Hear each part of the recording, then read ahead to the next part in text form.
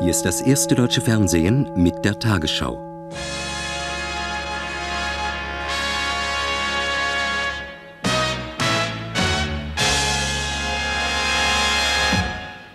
Guten Abend, meine Damen und Herren.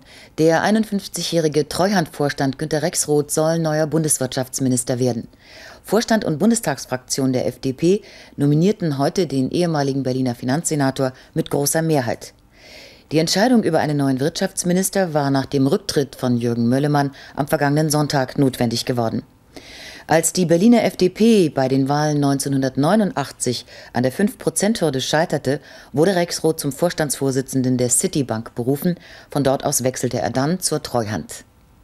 Das neue Modell fürs Amt des Wirtschaftsministers heißt Günter Rexroth.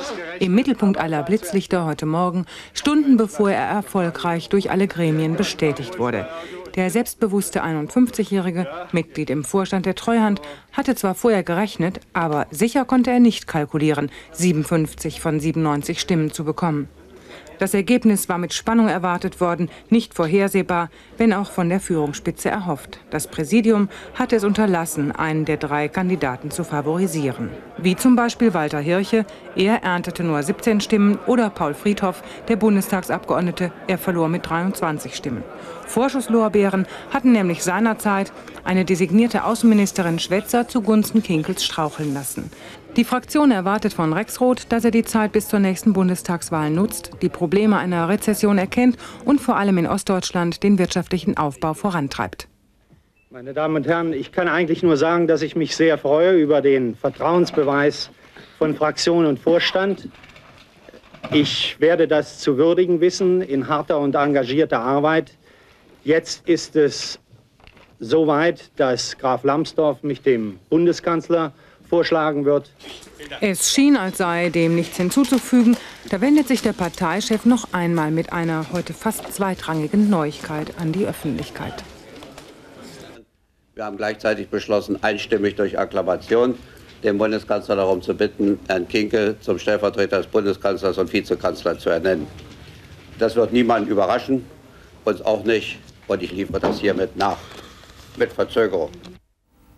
Die Nominierung von Günter Rexroth hat unterschiedliche Reaktionen ausgelöst. Finanzminister Weigel erklärte seine Bereitschaft zu einer fairen und engen Zusammenarbeit. Der Deutsche Industrie- und Handelstag bot dem FDP-Politiker Unterstützung an. CDU-Generalsekretär Hinze äußerte sich positiv über die Nominierung.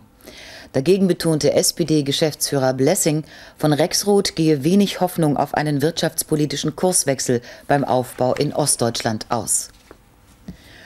Vor dem Hintergrund wirtschaftlicher Schwierigkeiten ist heute in Stuttgart die diesjährige Tarifrunde im öffentlichen Dienst eröffnet worden. Schon am ersten Tag der Verhandlungen legten die Arbeitgeber ein Angebot vor.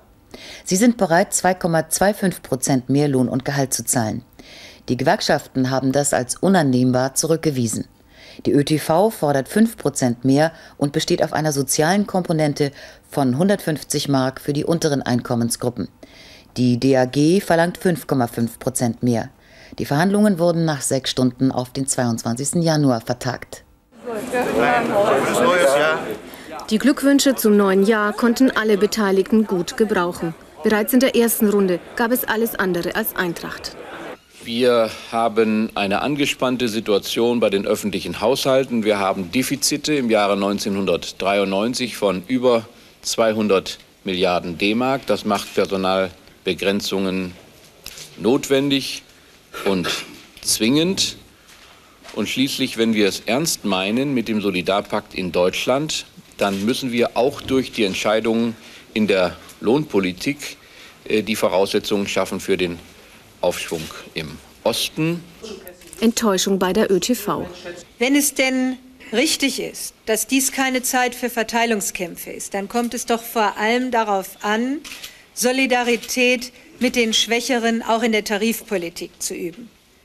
Dieses Angebot, was uns jetzt vorliegt, ist aber ein Angebot ohne soziales Gespür. Ohne soziale Komponente, so hörte man aus Gewerkschaftskreisen, wird es keinen Abschluss geben. Leere Kassen dagegen plagen die Arbeitgeber. Zwar ist das letzte Wort noch nicht gesprochen, aber die ÖTV wird es nicht leicht haben, eine 3 vor dem Komma durchzusetzen. Es sieht heute in Stuttgart ganz danach aus, als ob auch die Tarifrunde 1993 kompliziert werden wird. Im Konflikt um die im Südirak stationierten Luftabwehrraketen scheint eine bewaffnete Auseinandersetzung unausweichlich. Die irakische Führung hat es heute abgelehnt, die Raketen zurückzuziehen und das Flugverbot südlich des 32. Breitengrades zu akzeptieren. Man wolle keine Konfrontation, so hieß es in Bagdad, aber man sei bereit, sich zu verteidigen. In Washington rief US-Präsident Bush den Nationalen Sicherheitsrat ein.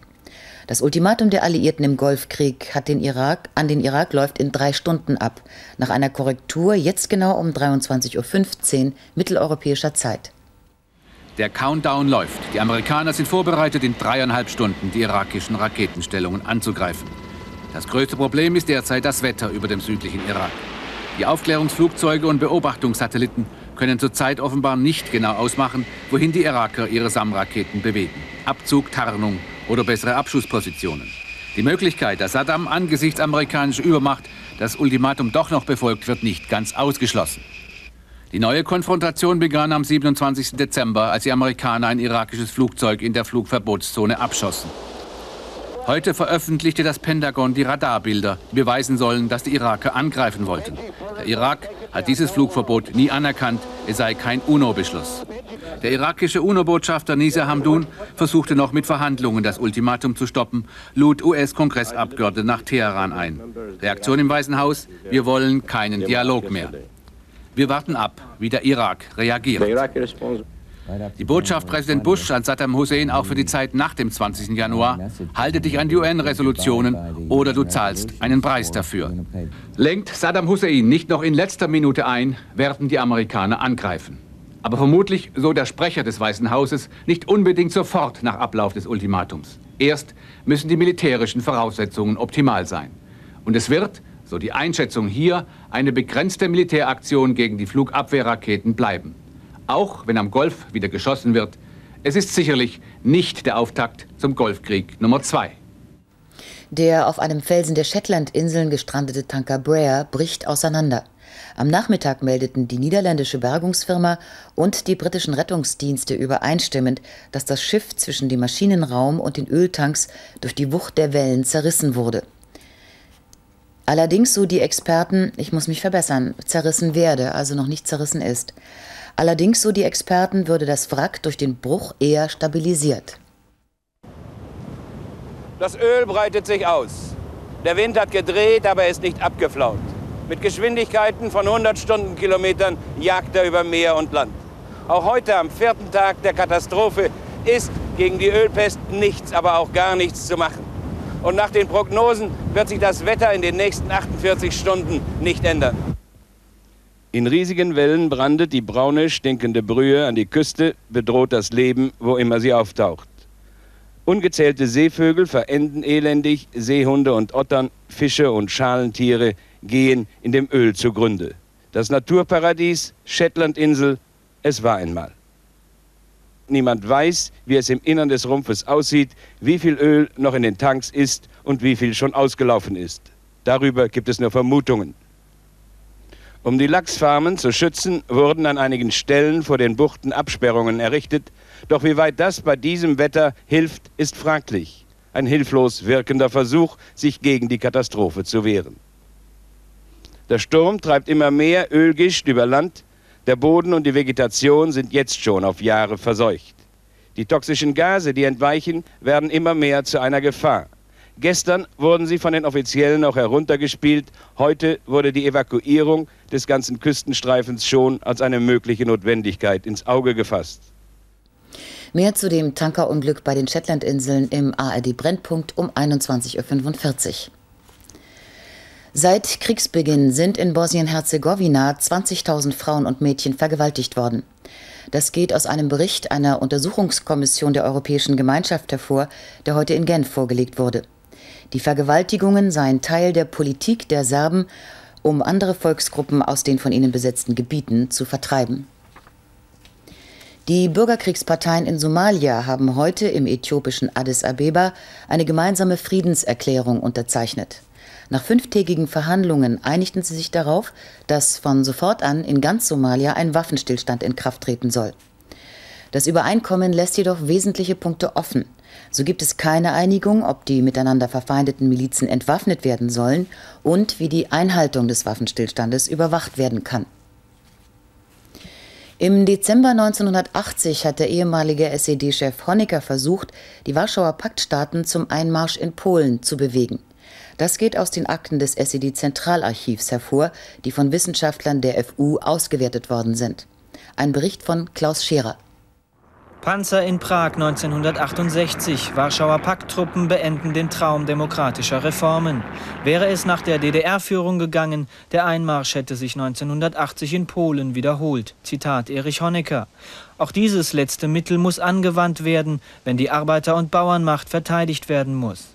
Mit Polens DDR-Botschafter Olschowski, der später ins Warschauer Politbüro nachrückte, hatte Honecker sich besprochen. Anlass die Streiks auf der Danziger Leninwerft und ihre Folgen. Sechs Tage später wendet sich Honecker an Moskau, genauer an den Genossen Brezhnev. Zitat: Jede Verzögerung ist dem Tod gleich, dem Tod des sozialistischen Polen. Honecker schlägt ein Spitzentreffen der Warschauer Paktstaaten in Moskau vor. Das Politbüro der DDR bevollmächtigt ihn dort, die nötigen Schritte einzuleiten. Und Honecker drängt, wie es heißt, auf gemeinsame Maßnahmen, so die Forschergruppe der FU. Honecker ist in Moskau der einzige, muss ich sagen, dem der Kompromiss, eine polnische Lösung äh, anzustreben und dem Polen die Chance zu geben, es mit dem Kriegszustand selber zu versuchen, nicht äh, ganz einverstanden ist. Die Dokumentensammlung geht auch nach Warschau. Erste Früchte hieß es des deutsch-polnischen Abkommens. Die polnischen Delegierten sprachen vom dunkelsten Kapitel der deutsch-polnischen Nachkriegsgeschichte. Die Dokumente könnten auch Sie gut gebrauchen, um im eigenen Lande auszuleuchten, wie es seinerzeit zum Kriegsrecht kam. Die Dokumente in Warschau seien wohl rechtzeitig vernichtet worden. Auf Widerspruch ist ein Vorschlag von Entwicklungshilfeminister Spranger gestoßen, einen Teil der Asylbewerber regelmäßig auf AIDS zu untersuchen. Spranger hat dabei Flüchtlinge aus afrikanischen und asiatischen Ländern mit einem, wie er der Bildzeitung sagte, hohen Durchseuchungsgrad im Auge. Nach Ansicht der SPD leistet der Minister damit dumpfen Vorurteilen und Ängsten vor Menschen anderer Nationen Vorschub. Zutiefst inhuman nannte die deutsche AIDS-Hilfe solche Tests. Die Arbeitsgemeinschaft Pro Asyl hielt Spranger entgegen, dass die AIDS-Gefahr nicht von den Flüchtlingen ausgehe, sondern längst ein soziales Problem jeder Gesellschaft sei. Der Rostocker Ausländerbeauftragte Richter hat dem Senat der in Hansestadt und dem Innenministerium von Mecklenburg-Vorpommern Untätigkeit im Zusammenhang mit den Krawallen im August vorgeworfen. Vor dem Parlamentarischen Untersuchungsausschuss in Schwerin sagte Richter, im Sommer hätten Warnungen vor Ausschreitungen vorgelegen, ohne dass darauf reagiert worden sei. Richter widersprach auch der Darstellung der Polizei, seit Beginn der ausländerfeindlichen Krawalle nicht über die akute Gefährdung eines Vietnamesenwohnheims informiert gewesen zu sein. Verheerender Verkehrsunfall gestern Abend in der Nähe von Grenoble. Ein Tanklastwagen raste auf abschüssiger Straße auf wartende Autos. Zehn Menschen wurden getötet, vier weitere verletzt. Durch auslaufendes Benzin fing auch ein Hausfeuer. Die Bewohner konnten sich retten. Die zehn Autoinsassen kamen in den Flammen um. Unglücksursache war ein Versagen der Bremsen. Wie durch ein Wunder blieb der Tank des Lastwagens mit brennbaren Chemikalien unbeschädigt. Steffi Graf und Michael Stich haben erstmals für das deutsche Tennis den Hopman Cup gewonnen, die inoffizielle Mixed-Weltmeisterschaft. Im australischen Perth stand der Finalsieg über das spanische Geschwisterpaar Sanchez bereits nach den beiden Einzelnen fest. Auf das abschließende Doppel verzichteten die Deutschen. Und nun die Wettervorhersage für morgen, Samstag, den 9. Januar. Auf dem Satellitenfilm erkennt man zunächst ein breites Wolkenband über Skandinavien, Deutschland und Frankreich. Über England, Wales und Schottland ist es gering bewölkt. Im Tagesverlauf dehnte sich die wolkenarme Zone bis nach Norddeutschland aus, während sich das Wolkenband nach Osten verlagerte. Nach Abzug der zugehörigen Front kommt Deutschland unter kurzen Zwischenhocheinfluss, bevor von Westen erneut atlantische Tiefausläufer auf Mitteleuropa übergreifen.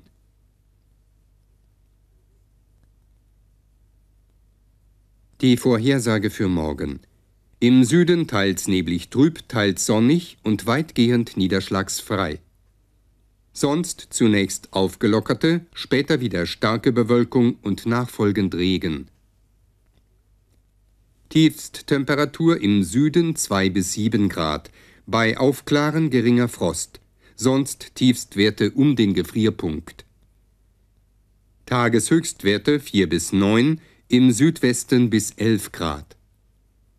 Auffrischender in Böen im Norden zum Teil stürmischer Wind um Südwest. Die weiteren Aussichten am Sonntag windig, regnerisch und mild.